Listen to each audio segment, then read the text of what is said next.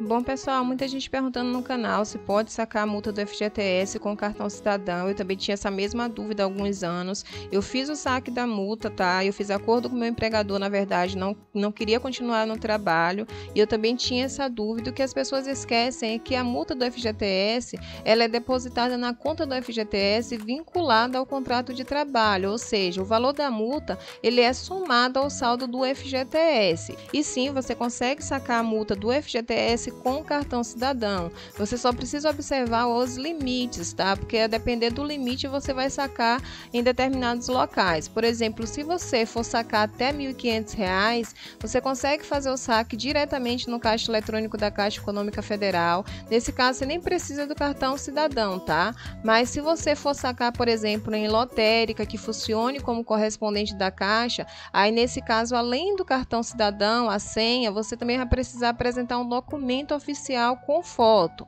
Já saques que vão de R$ 1.500 até R$ 3.000, esse tipo de saque pode ser feito no caixa eletrônico das agências da Caixa, pode ser feito também em correspondente, mas é obrigatório você estar com o cartão cidadão e a senha para você conseguir efetuar o saque, além do documento oficial com foto, claro, tá? Aí pode ser CNH, identidade, enfim. Se você for estrangeiro, pode ser o RNE. Já saques a partir de 3 mil, tá, em valores do FGTS, esse saque só vai poder ser feito nos caixas que ficam dentro das agências da Caixa Econômica Federal. E aí você vai ter que apresentar o documento oficial com foto, cartão cidadão e vai ter que lembrar da sua senha também, tá?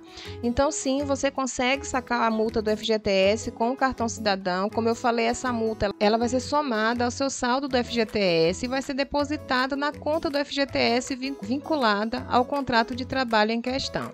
Então é isso aí, espero ter ajudado. Se ajudei, não se esquece, me ajuda também, se inscreve no canal.